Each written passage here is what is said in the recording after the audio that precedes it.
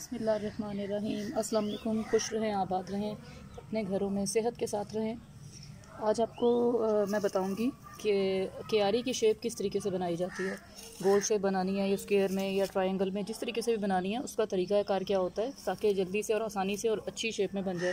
क्योंकि जब ये बहुत ज़्यादा घास जैसे कि आप देख रहे हैं कि ये उगी हुई है और इसमें शेप को जो है ना कवर करना मुश्किल होता है। तो बहुत आसान सा तरीका आज बताऊँगी। कल मैंने आपको, आपके साथ एक वीडियो शेयर की थी, जिसमें मैंने आपको कैरी को साफ़ करना, उसमें से जड़ी बूटियाँ किस तरीके से निकाली जाती हैं, आसानी से वो बताया था। और आज की वीडियो देखिएगा देखिएगा, एंड तक बहुत ही इम्पोर्टेंट है। और इसको आप देखिएगा कि कैरी की शेप किस तरीके से बनेगी और ये सारी घास एक्स्ट्रा ये कैसे निकलेगी। सबसे पहले तो ये देखें कि आज जैसे मैं स्क्वेयर शेप में क्यारी बना रही हूँ तो ये प्लांट का सेंटर पॉइंट है, ठीक है ना? इसके हिसाब से हमने देखना होता है। तो सबसे पहले ये करना है कि जैसे मैंने फ़र्ज़ करें कि ये देखें यहाँ से। ये ये जो है, ये स्क्वेयर शेप यहाँ से ऐसे करके और फिर यूँ और फिर यूँ लेके जानी है। तो सबसे पहले तो ये सेंटर पॉइंट है और इस सेंटर पॉइंट से मैंने हिसाब रखना है कि मैंने कितना, जैसे फ़र्ज़ करें मैंने अंदाज़न यहाँ तक करना है, ठीक है? तो अब आपने ये करना है कि आपने यहाँ से, ये देखें ये और अब मैंने आप कल जो इससे पहले की जो वीडियो थी, मैंने उसमें बताया था कि हमेशा दांतरी को जब भी घास या जड़ी बूटियाँ निकालते हैं, हमेशा थोड़ा सा उसको गहराई में ले जाकर इस तरीके से ये देखें, ठीक है? तो इसको ऐसे करके आपने निकालना है, ठीक है? देखें, ये घास की जो है ना, ये कहाँ तक रूट जा रही है?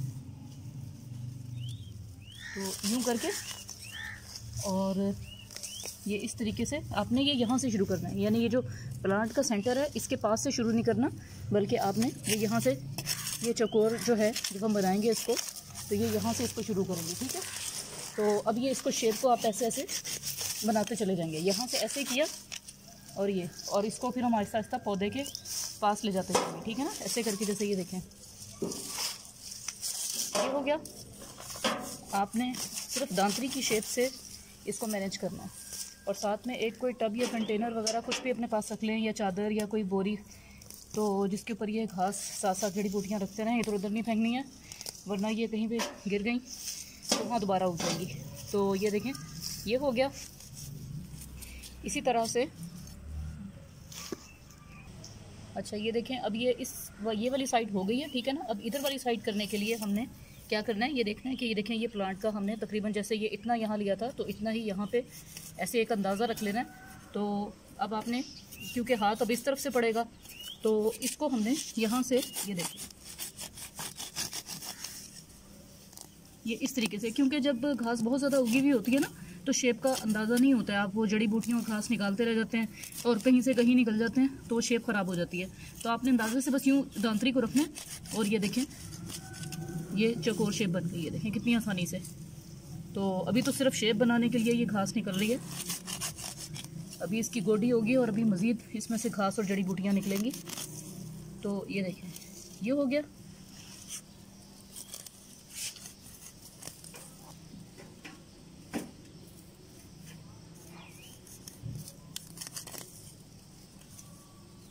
और ये दांतरी को बिल्कुल नीचे आपने जितना ले जा सकते हैं, नीचे ले जाकर ताकि घास की जड़ें ज़्यादा गहराई तक कट जाए और दोबारा अगर उगे भी तो बहुत देर से उगे। इतनी जल्दी ना होगी ये सारे इसमें से पत्ते वगैरह, ये सब कुछ निकाल देने।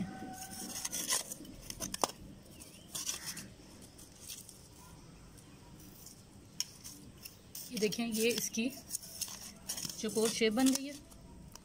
अब ये करना है कि इसमें एक दफ़ा आपने फिर दांतरी जो है ना, ऐसे चलानी है, गहराई में, ज़रा गहराई में चलानी है, पौधे से थोड़ा सा दूर।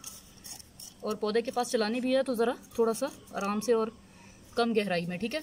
तो यहाँ दूर में आपने ज़रा गहराई में चलानी है और आपने दांतरी से अंदाज़ा लगाना होता है कि कहीं पे कोई जड़ तो नहीं रह गई? जहाँ पे आपको लगे दांतरी जो है, ये फंस रही है अंदर कहीं पे, कोई सख्त चीज़ टकरा रही है, इसका मतलब है वहाँ जड़ी बूटियाँ ये देखें, जैसे ये निकल रही हैं। मैं जैसे दांतरी को नीचे फेर रही हूँ तो पता चल रहा है कि यहाँ पर जड़ी बूटियाँ हैं, ठीक है?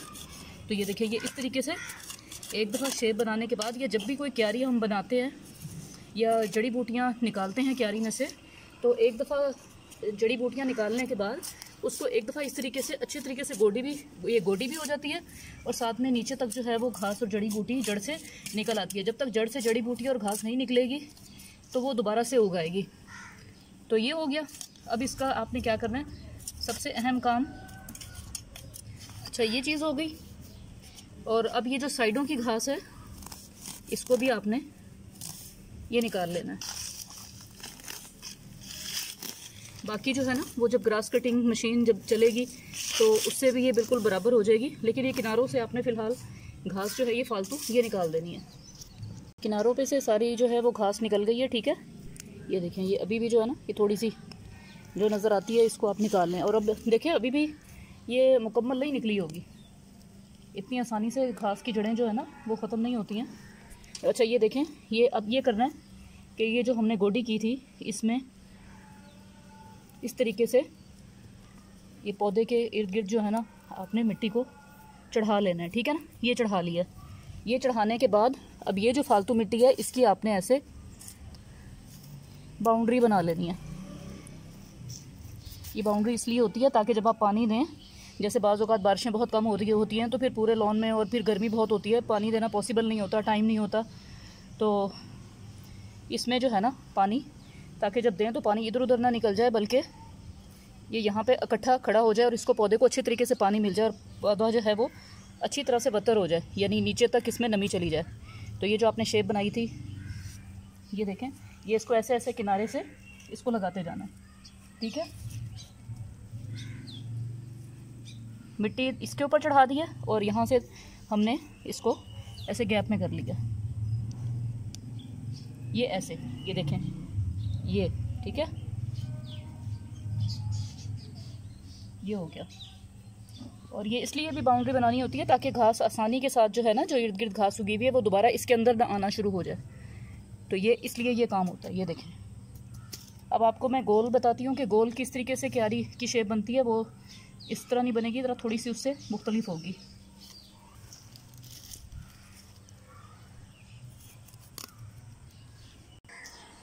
ये खजूर की सॉरी अंगूर की बेल है और अब इसकी जो है ना इर्द गिर्द टंग की गोलाई में मैं बनाऊँगी, ठीक है, क्यारी? तो अब उसको शुरू करते हैं। अच्छा अब जब स्क्वेयर शेप में हमने बनाई थी तो हमने फासले से जो है ना, वो स्क्वेयर शेप में हमने इस तरीके से यहाँ से यूँ करके सारी दांतरी से हम इकट्ठे करते चले गए थे, ठीक है? लेकिन जब हम सर्कल में बनाते हैं ना तो सर्कल में इस तरीके से कवर करना मुश्किल होता है। ये हमें लग रहा होता है कि हम यहाँ कोई निशान लगा लेंगे, कुछ होगा तो हम निकाल लेंगे, आसानी से निकल आएगा, ऐसी बात नहीं है। मैं काफ़ी सालों से ये काम कर रही हूँ। तो बहुत अरसे के यानी मैंने सीखा तो नहीं है, लेकिन ये है कि कहीं से, लेकिन कर करके समझ में आ गया कि काम को किस तरीके से करना है तो आसानी से होगा। तो ये शेप मुझे इस तरह बनानी, जिस तरह से आसान लगी तो उस तरीके से मैं आपको बता रही हूँ। इसको हम, इसकी जब शेप बनाएँगे तो उसको हमने यहीं पे ट्रंक के पास से शुरू करना है, ठीक है ना? यानी जैसे ये, है ना?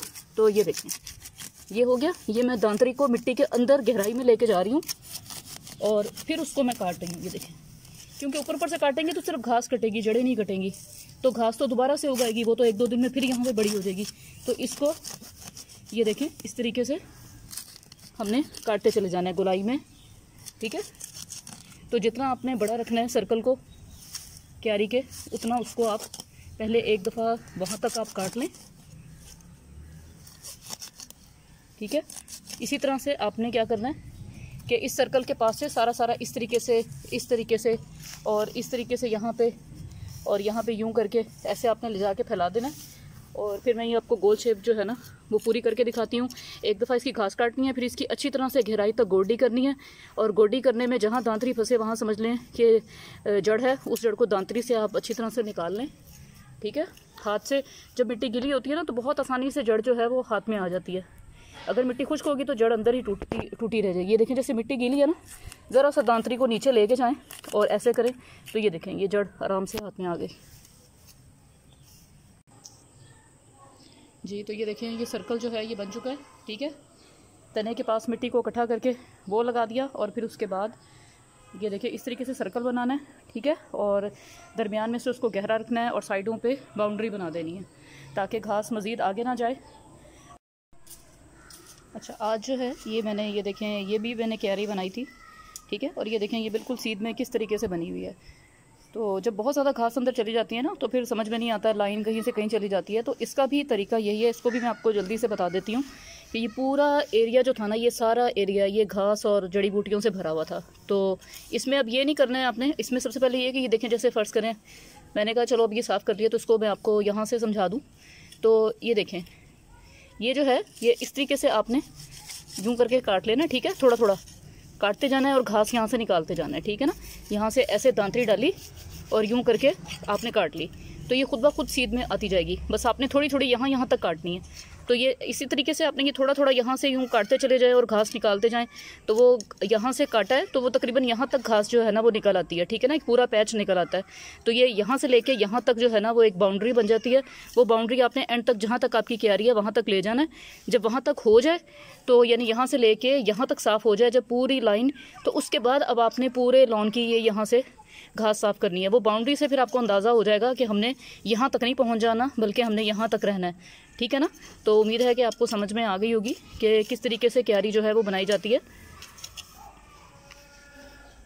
तो क्यारी बनाने का और जो है ना पौधों के इर्द गिर्द सारी जड़ी बूटियाँ निकालने का काम तकरीबन तकरीबन कंप्लीट हो चुका है। और जब पूरे लॉन का काम कंप्लीट हो जाएगा तो इंशाल्लाह मैं आपको ओवरव्यू भी दूँ, दूँगी और साथ में मैं आपको अपने प्लांट्स भी दिखाऊँगी जो मैंने लॉन में लगा रखे हैं। और जो मैंने इन शेड सॉरी शेड में जो रखे हुए हैं, यानी इनडोर तो वो भी मैं आपको, वो किसी और वीडियो में दिखाऊँगी। फ़िलहाल मैं आपको गार्डन के प्लांट साथ में जो है ना, वो दिखाऊँगी कि मेरे पास कौन कौन से प्लांट हैं जो मैंने ज़मीन में लगा रखे हैं। और जो ज़मीन में लगे हुए हैं, वो धूप में कौन से हैं और शेड में कौन से हैं? तो वो भी मैं आपको सारा बताऊँगी। इन फिर मुलाकात होगी। Always grow organic always eat organic अल्लाह हाफिज़।